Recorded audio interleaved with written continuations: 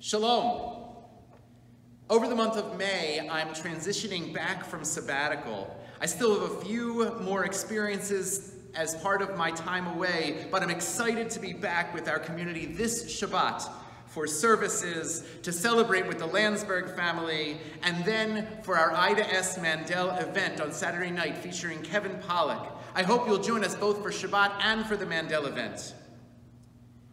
As I head back into the office and into services on a more regular basis, I want to pause to thank Rabbi Markowitz, our entire office staff, especially Lauren Marks Cabanas, the sabbatical committee, and other lay leaders who have made this restorative time possible. Over this time, I've learned a lot.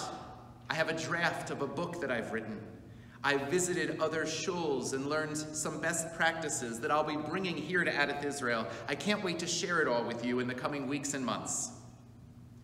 This Shabbat, please join as for my first sermon back, I'm going to be talking about a new model of what has been called work-life balance. The sermon is entitled, Put Your Whole Self In When You Can.